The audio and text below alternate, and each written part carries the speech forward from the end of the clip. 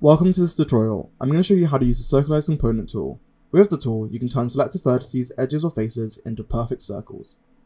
To start with, select the vertices, edges or faces you want to circularize. I'm going to choose faces. As you can see, I've already made my selection. You're going to want to then select Edit Mesh, Circularize from the modeling menu set, or hold Shift and right click and select Circularize Components. These selected components are then converted into a circle.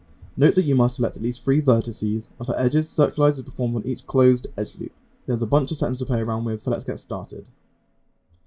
Normal offset adjusts the initial extrusion amount based on the average normal of the selected components. I'm just going to bring mine out a little bit like that. Radial offset adjusts the initial radius of the circle.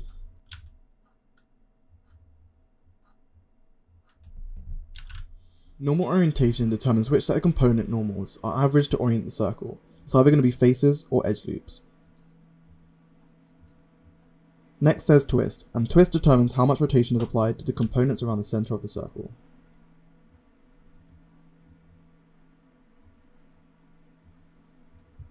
Relax interior adjusts the space in between components so they stay within the circle while remaining evenly spaced. Lower values will enforce components' original spacing.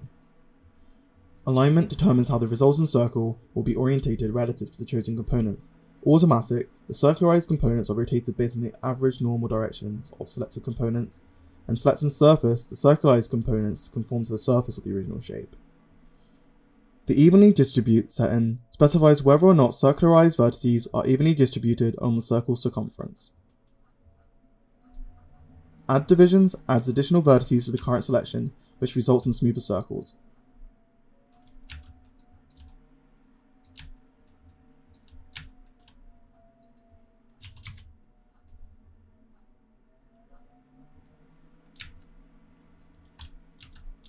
And finally, supporting edges adds edges to the vertices along the circle's circumference. This can be used to help avoid n-gons by converting n-gons into tris. The most common settings you'll probably be changing are normal offset, twist, and radius settings. However, it's useful to know what the other ones do.